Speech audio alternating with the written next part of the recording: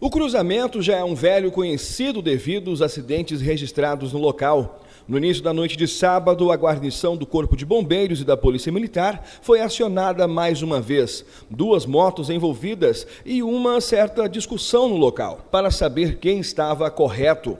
Conversamos com o esposo de uma das vítimas. Eles vinham vindo no sentido aqui do, na BR, do posto Guaporé, sentido a, a Expoeste. E aí ela falou assim que deu certo, parou a moto, deu certo para entrar e eles vêm vindo atrás e bateram jogando ela de, fora da moto no, no, no, asfalto. Já a outra parte alega que a condutora da bis não ligou a seta ao tentar fazer a conversão à esquerda. Nós estava vindo no mesmo sentido, ela na frente e nós atrás. Quando chegou aqui, ela pegou, nem deu seta, ela disse que deu seta, mas ela não deu seta. Ela pegou, foi atravessar aqui nossa frente. Nós freou que deu, mas ainda bateu. Uma batida fraca, mas bateu. Aí nós três caiu no chão.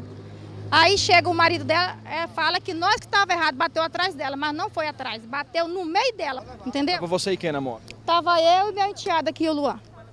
Tá Machucou você também ou não? Ó, eu machuquei só isso aqui, né? Ralou um pouquinho, fiquei com dor no peito. Eu tô operada, com dois meses eu fiz uma cirurgia, eu caí aqui. Eles nem sequer se preocupou comigo, ficou preocupado com moto, se moto tinha estragado ou não. E ela ainda veio gritar comigo ainda. Dizer que nós tá errado. Ela que estava errado atravessar isso aqui. Ou ela tinha que parar ou ver se tinha distância. Ela falou assim que achou que dava tempo dela passar. Não é negócio de achar, tem que ter certeza para atravessar isso aqui, não é? Tem que ter certeza. Aí chega o marido dela e fala que nós que está errado. No comando da guarnição, cabo Clarismundo, ele mais uma vez falou à nossa equipe de reportagens e chamou a atenção por parte dos condutores para prestarem mais atenção no trânsito. BR movimentada, essa hora, hora de bico o povo embora.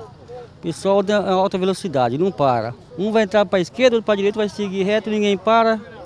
Só porque é BR, não tem placa de sinalização para quem vai entrar à esquerda ou direita, não para. Um quer chegar primeiro que o outro, e é isso que acontece, acidente atrás do outro aí, né? Agora, a mulher se encontra lá no Vale do Gaporé, Santa Casa, os locais tem lá colher os dados dela e com o BO e caminhar de uma moto para o CISC.